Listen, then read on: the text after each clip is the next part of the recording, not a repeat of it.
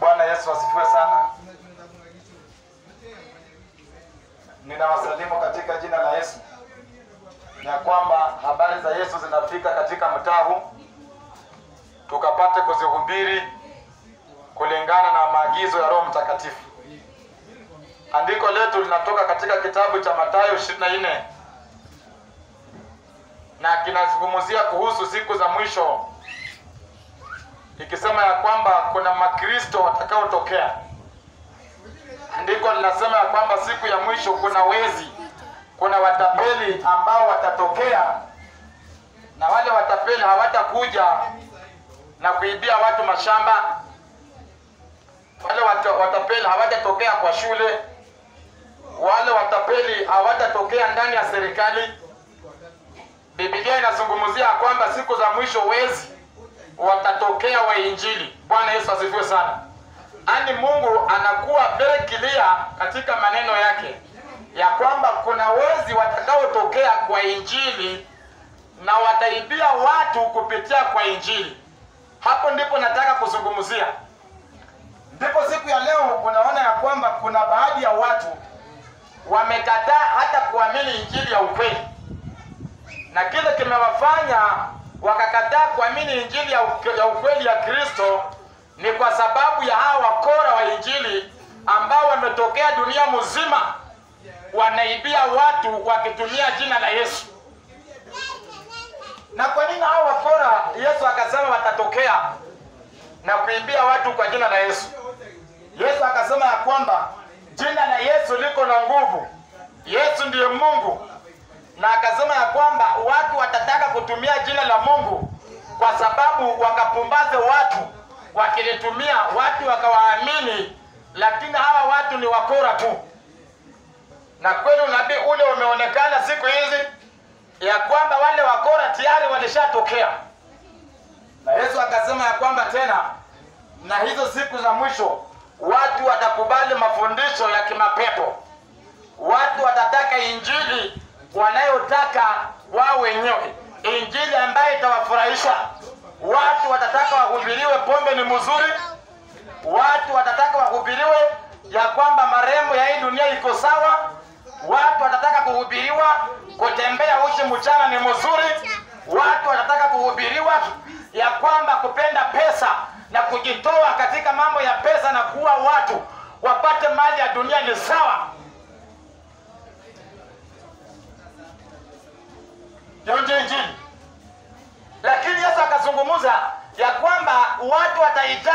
Injili ya kuwafurahisha, na hivyo ndivyo imekuwa siku ya leo.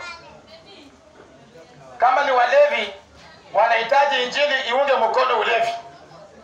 Kama ni makahaba, wanahitaji ukawahubiria injili ya kuwaunga mkono katika ukahaba. Kama ni watu wa madawa za kulevya, wanahitaji ukaunge mkono madawa za kulevya.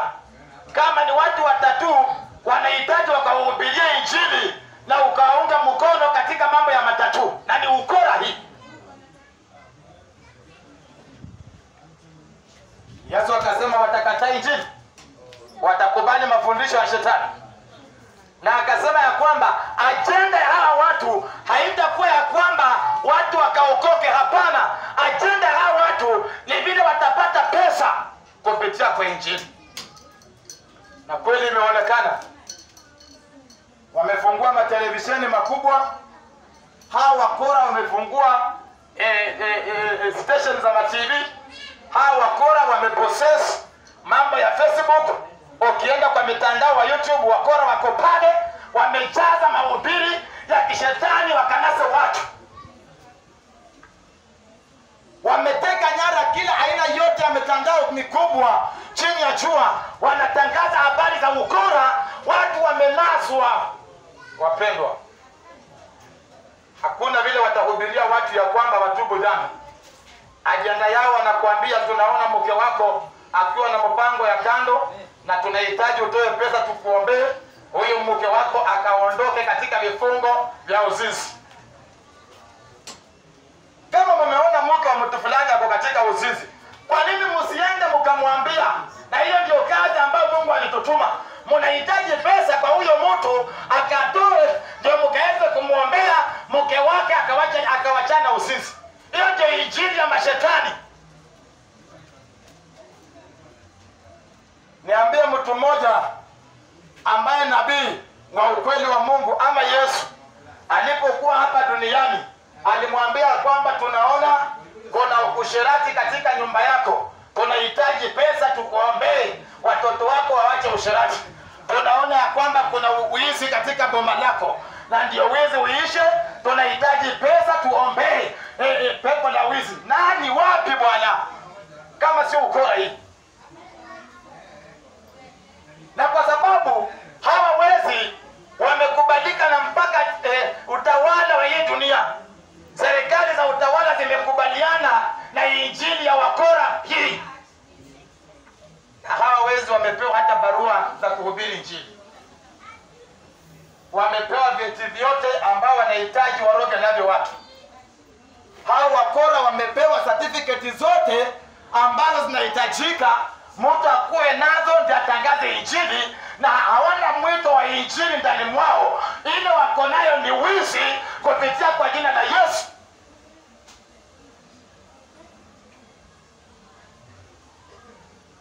Watu wamefungua manyumba makubwa, majengo, wako na wafuasi wengi, wako na vitu vizuri, wako na misaada ya kusaidia mayatima, wanasaidia wa, ma, wa, wajane, wanasaidia masikini, wanalipia watoto school fees, wanasaidia watu watoto wa mitaa, wakiwachukua wakiwaleta katika hii nyumba, watanganye watu wanataka kusaidia watoto, kumbe wanatafuta mahali ambapo wataiba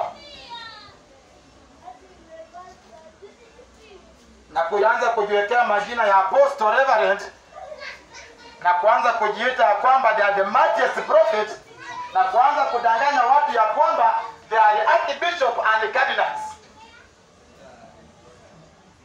majina ambayo hayako kwa Biblia. Hata jina la popu kwa Biblia haliko. Jina ya kwamba the mightiest, the greatest haliko kwa Biblia. Majina ya kwamba his holiness, his highness haiko na wamekuja na haya majina, watu wakawakumbatia kwa sababu hawasomi neno.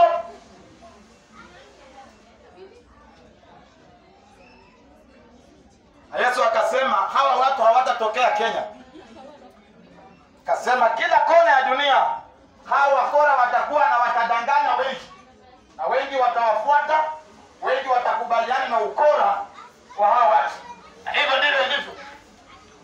Watu watauza mashamba wakitabiliwa watu watauza mashamba ndio wapate mimba. Yesu ameombea wapi mtu akamwambia toa shamba ndio upate mtoto? Siku ya leo kila kitu ni maombi ya pesa. Wanataka kwenda Amerika, toa pesa tukuombee kwenda Amerika.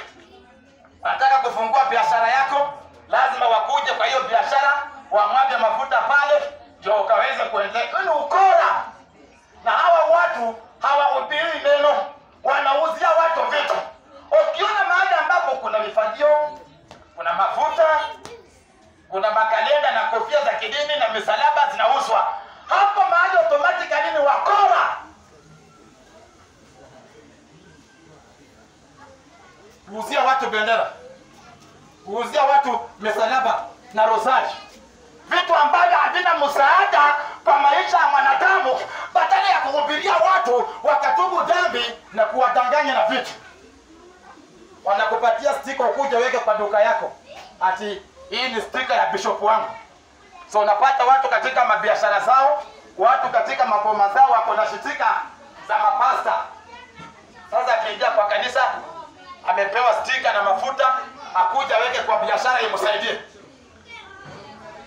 tangu lini spika zinaweza kusaidia watu. Na watu wamekuja wakakataa injili ya ukweli. Watu wakaamini injili ya mapepo. Yesu akazungumza hivyo ndivyo itakavyokuwa. Ndio maana siku ya leo wakati injili inahubiriwa kuna wale wanaona hii injili ni mchezo. Wanasema ni kelele wengine wanasema hakuna injili pale hawa wanataka eh, sadaka. Katika injili yetu hakuna mambo ya sadaka, kwa sababu hatujaagizwa na Yesu tuende kuhubiria watu na tuanze kuambia mtupatie pesa.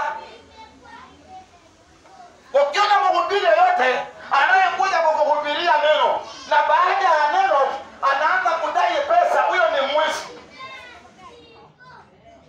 Kama hujasoma Biblia tu hapo, Biblia imekuwa very clear ya kwamba nimewapewa kazi ya Mungu bure, nanyi endeni dunia mzima mukaitoe bure. Waimbaji wanaoimba nyimbo wakiuzia watu ni wakora wa Injili. Haya mahubiri ambayo nahubiri yanaweka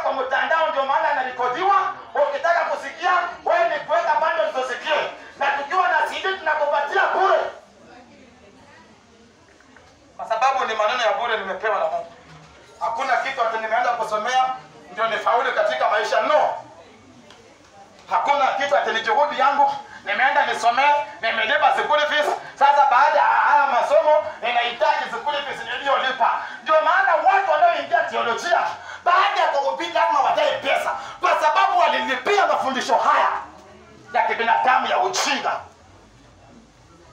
Walikataa kuongoza na Roho wa Mungu, wanataka kuongoza na wakora wanaojifanya ya kwamba wamesoma, wanajua Mungu kuliko Mungu mwenyewe. So baada ya kusoma watahitaji pesa waliolipa. Ndio maana wakikuja kutangaza habari hizi lazima watadai, na ukikataa kutoa wataanza kukwambia itaanguka, watoto wako wata, watapotea. Toa sadaka ya watoto, tuombee watoto. Alafu uchawi wingi wa siku ya leo, watu walikataa kujiombea, wakaweka mizigo kwa mapasta wawaombee. sifanyaji uwizi kama huo mimi. Mimi sijaambiwa atinianze ati nianze kuombea watu. Nimeambiwa nihubirie watu injili watubu. Watu wakamjue Mungu wakajiombee. Watu wakamtafuta Yesu. Unaenda kuhubiri mahali, ombea mtoto wangu. Mtoto mwenyewe hataki injili. Ombea biashara yangu. Biashara yenyewe ni kuuza bangi. Hakuna mambo ya kuombea ombea hapa watu. Mambo ni kuhubiria watu injili, wakajua Yesu ni nani, wakaondoke katika kambi. Watu wamekataa mambo hayo, wanahitaji ukiingia tu mahali kuhubiri, kuna wachawi fulani wamejitenga, pasta, niombee, niombee, niombee. Tunakuombea na hata umeimba Bwana ya mtu, badala uachane naye, unahitaji maombi gani? So uende kwanza rudisha Bwana ya mtu, umwambie urudi kwa bibi yako. Maombi, maombi, maombi hawa wakora hawana hawataki kuambia watu watubu. Lengo lao ni kuombea watu wapate faida. Baada ya kukuombea ni kutembea kwa kila biashara. Akikuja hapa kuhubiri, amemaliza kuhubiri, anakuja kwa biashara yako, ni kama wewe ndio umemtuma. Nisaidie, nataka kwenda Nakuru, patia pesa, niko na mayatima, nisaidie pesa, nimekupatia ya roho Eh, bibi yangu nimemwacha kwa nyumba, hakuna kazi nafanyanga, nikuhubiri injili. Wewe ndio umekutuma. Mimi ndio nimekutuma ndio kuja uniombe. Mimi nikiwa upande wa Mungu ninajua huyu mtu ni mhubiri, sio lazima aniombe. Inaongozwa na Roho. Mungu akiniambia shamba nikupatia na kupatia. Mungu akisema nitoe elfu tano na kupatia. Ndio maana watu wa, wa siku ya leo wa kuombaomba wanapewa hamsini na shilingi kumi. Lakini kama utahubiri injili, sio lazima watu wote watoe pesa. Mungu anaweza ongea na mtu mmoja na kupatia tena elfu hamsini uende ufanyie kazi ya Mungu. Lakini kwa sababu haujaamini, unategemea watu, unafikiri wakikuja mahali watu wako kihubiri, kila mtu atatoa mia mia, na hata uende hapo mahali na upati kwa sababu tamaa iliyokupeleka pale ni pesa. Haukuenda kuhubiria watu watubu, walienda pale kwa tamaa yako, na umetoka bila pesa. Unaanza kulaani biashara za watu, unaanza kulaani watoto wa watu, unaanza kutishia watu ya kwamba Mungu anasema kama utoi atatuma nzige zikuje kwa biashara yako, itaporomoka. Ukisikia hivyo kwa sababu ya injili ya mchawi, unaanza kutoa pesa upatie mwizi.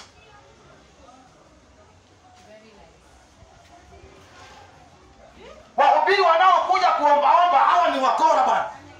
Yesu anatuagiza tuende tuhubiri injili. Wale watakaoiamini watazungumziwa na Mungu cha kufanya. Kuna mambo ya kuombaomba kwa kwa mahubiri. Yesu akasema ya kwamba watu wataamini vitu feki. Unajua cha siku ya leo, kila mtu anajua kwa hii dunia kuna vitu feki na original.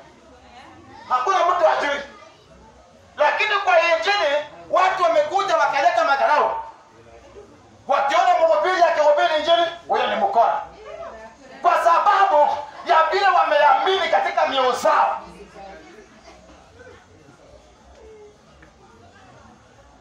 Kila mfanya biashara anajua kama anauza viti, anajua viti gani original, kama ni nguo anajua ni gani original zenye watu wanaweza nunua. Kwa injili hautaki kujua mapasta wakora wesu. Wewe kila mhubiri ni kusema ni mbaya. Kwa sababu hautaki mambo ya Mungu. Yesu mwenyewe alisema watatokea, lazima watokee, na hawa watu watakuwa dunia mzima. Kenya tumeona wanapokuja, hata barabara zinafungwa. Mhubiri gani anakuja kuhubiri na amelindwa na jeshi, ako na mabodyguard na bunduki na, na, na maaskari nyuma yake, mabausa, barabara zinafungwa. Popo akikuja hapa Kenya, tunasikia barabara fulani zimefungwa, popo apitie, hautapita pale. Na huyu ndio mtu tunaambiwa ni mhubiri, anahubiria watu wapone. Yesu alienda katika vijiji vyote,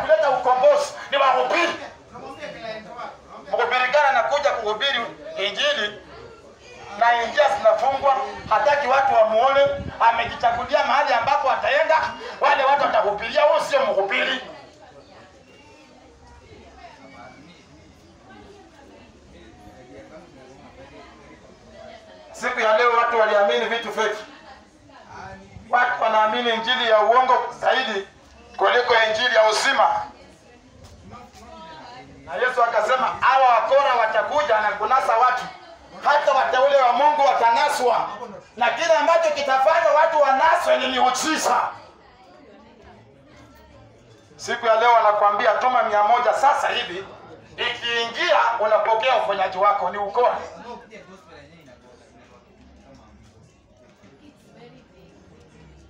Wanakuambia panda mbegu ya mia tano na sasa hivi unapokea mtoto mapacha, utapokea injili za miujiza na maajabu na ishara. Paulo wakapata mda- mwanamdada fulani alikuwa maandikwa kazi na bosi wao, na huyo mwanadada alikuwa ni kikundi cha kishetani, alikuwa amepewa nguvu na shetani za kutabiri. Akiona Paulo wanahubiri, anasema hawa ni watumishi wa Mungu, wanatangaza habari za uzima, ni sawa, lakini nguvu aliyokuwa akitumia haikuwa ya Yesu, alikuwa ni mkora.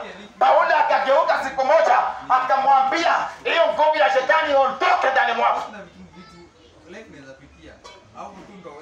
Nguvu alizopewa na shetani zikaondoka. Watu waliokuwa wametega huyu msichana kumkulia wakashika wakina Paulo, wakakasirika, watu wakanungunika, kwa sababu kitega hukumi chao sasa kimeondolewa. Sasa tunasikia kampuni za pombe zimefungwa, watu wanalalamika kila kona zifunguliwe, kwa sababu kitega hukumi cha hii kampuni sasa waliokuwa wameitegemea sasa wanaona shida. Ishara zimenasa watu kwa shetani, miujiza. Waka Yesu akasema wataita moto.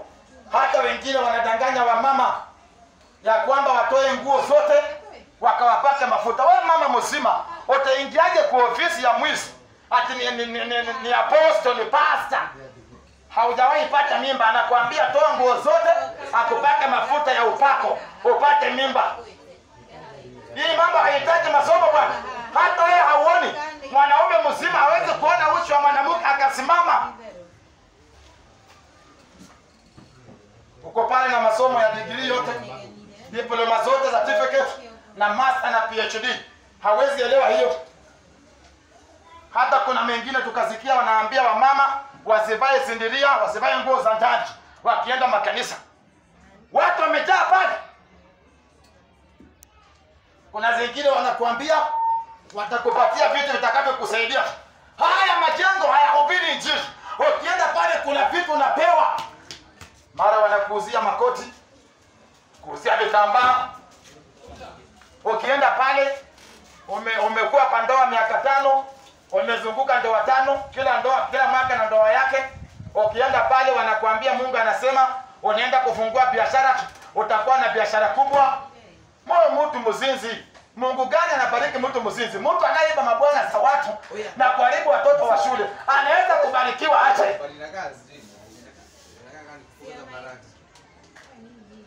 Haya maneno napokea katika nyumba hizi.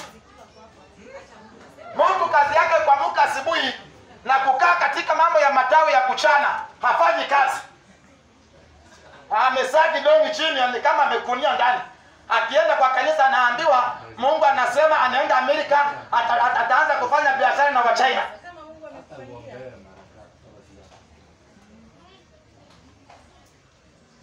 Ani Mungu. China ndio Mungu wanataka wakora, Amerika ndio wanataka wezi.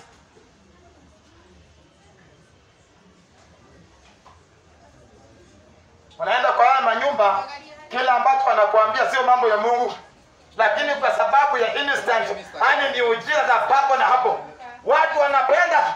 Hata sasa hapa kilema akikuja hapa ni muombe na apone hata watu wote watafunga maduka wakuja hapa, pasta niombee, pasta niambie kwa hii biashara yangu vile inaendelea, pasta niambie kwa nyumbani ule mtu anatoroga. Ni kama nimeitwa kutafuta waroho wachafu. Ndio mchawi wa kwanza, unatembelea watu uchi mchana mzima, alafu unatafuta watu wa ushago waliokuroga. Wewe tayari ulishajiroka. Wewe mtu mzima utatembeleaje watu uchi mchana mchana? kasa niombe niambie maanti zangu wananifanya nini?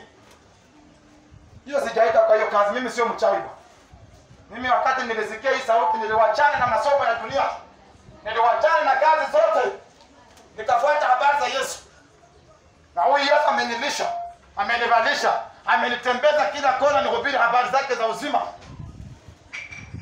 si ya kwamba niko na bidii kwa kazi ndio ninakula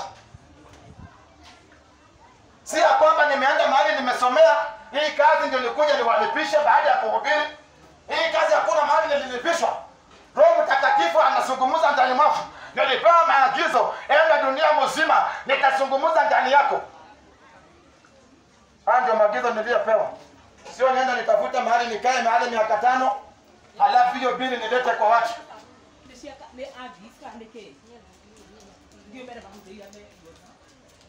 Kwa sababu watu wamekataa injili ya ukweli wakakumbatia injili ya shetani. Lakini nataka niwaambie kuna injili ya ukweli. Hata wakati wa Yesu kulikuweko na wakora waliohubiri injili kama hiyo, lakini watu wakawafuata. Lakini wakati injili ya ukweli ilianza kupenya kwa mioyo zao, waliama katika manyumba, watu wengine wakakasirika, wakasema injili hii ya Yesu anayehubiri ni tofauti na injili ya Mafarisayo, na ni ukweli. Mimi siwezi kuhubiri injili kama watu wa teolojia, nikuje na viatu vya rangi na suti, ndio mu- muone appearance yangu mimi ni msafi, ndio munibariki, ati ndio nisikilize. Mimi sina hiyo haja.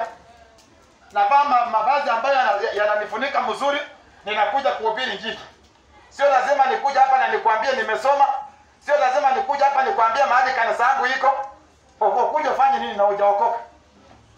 Pokea wokovu kwanza na sio lazima ukuje mahali na, na, na shiriki. Yesu anaweza kutuma kanisa lingine, lakini hao wakora wanahubiri injili wakitaka watu wawafuate. Yesu alipohubiri injili akapona mtu aliyekuwa na shida ya mgongo, ule mtu akataka kumfuata. Yesu akamwambia enda kwenu, hubiria watu wa kwenye habari za uzima, waambie habari za Yesu. Lakini hawa wakora, kama wewe ni mtu wa ACA, hawezi kwenda kwa kanisa ya ABC wanakwambia baki kwa hii kanisa. Ukitoka kwa hii kanisa wanakulaani. Kuna mapasta wakora kabisa, hawataki mtu aende kanisa ingine, wanajua atapokea injili ya ukweli. Na that's why tunakuja katika masoko, tunakuja kila kona tukihubiri. Kama umedanganywa na pasta yako ya kwamba unastahili kusikia tu injili ya kanisa ya kwako, ni mkora huyo, anaogopa. Ukienda kwa kanisa ingine utajua mambo ya kuvaa rozari na kutembea na misalaba za ambao ni uchawi, utatoroka, utahama. Sasa ndio maana amekufunga pale na injili ya uongo, usipo usifunguke macho. That's why Yesu alisema tuwakujie wale mliofungwa na injili za rozari na injili za misalaba na injili za kutembea na na, na, na, na makanzu na kofia, mumeandika misalaba na na mumeandika maandishi ya Mungu, na haya maandishi haiko ndani ya mioyo. Mungu hatatuambia tuandike maandishi kwa nguo, amesema tushike neno lake na likae katika moyo wetu. Tuliandika kwa moyo, si kwa mavazi. Ya leo watu wa Kora wengine wanaenda kujitatu na kujiandika mistari za Biblia kwa mwili wakifikiri ya kwamba zile mistari zitawasaidia. Mungu akasema tujitatue mistari, amesema zile mistari zibaki ndani yetu, tusikie neno ile neno likae ndani yetu, lizae matunda, ani tulikalihubiri, watu wengine wakapokea wokovu kupitia kwa kazi njema ya Mungu. Wale ambao mkisikia injili na mnaanza kuidharau kwa sababu hamuelewi maana ya injili, mlirogeka na injili ya dunia, injili ya pesa, injili ya mashamba.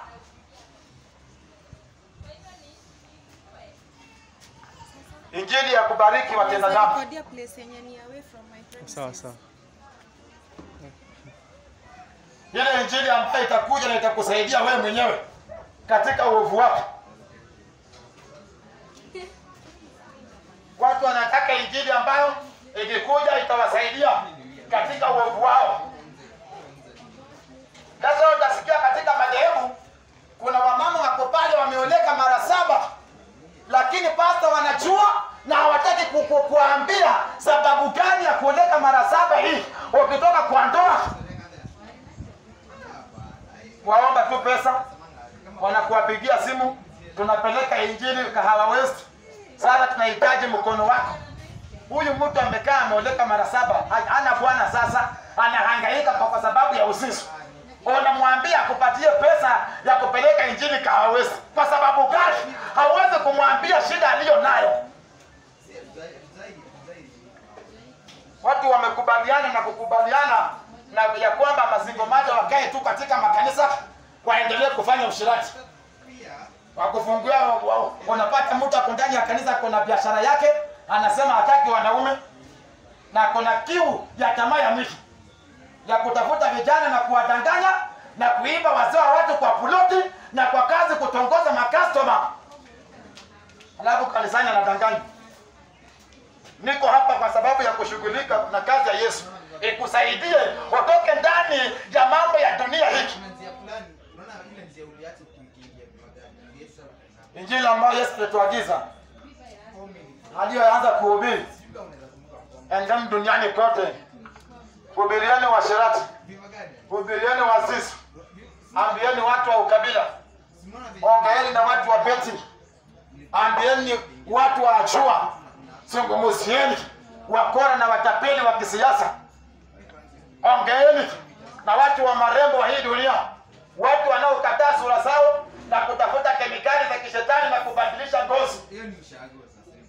kudanganya ya kwamba ndio utavutia wanaume na kutafuta vile utakuwa na na, na figa za, ma, za Mavera Sindika na Mahuda na wakina Rehana na Biosi uvutie watu na vile vitu natumia vinakuharibu ngozi.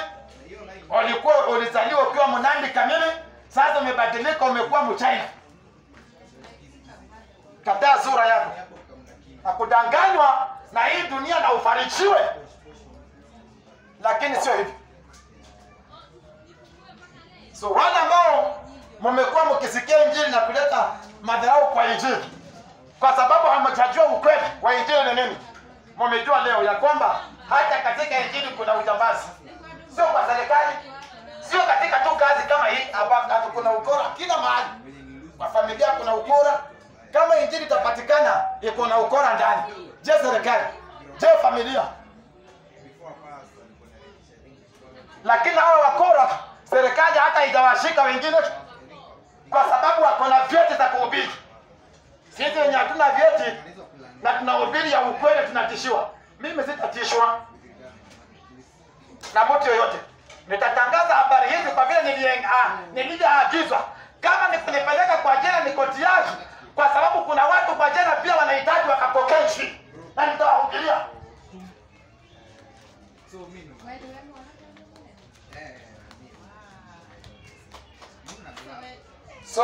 badilisheni njia zenye potofu, tafuteni Mungu, wacheni kutafuta vitu, mjazo Roho Mtakatifu, mkakuwa na hekima ya kujua mema na mabaya, na mtaweza kupona. Wacha tuamini. Yesu, tunasema ni asante kwa hilo neno.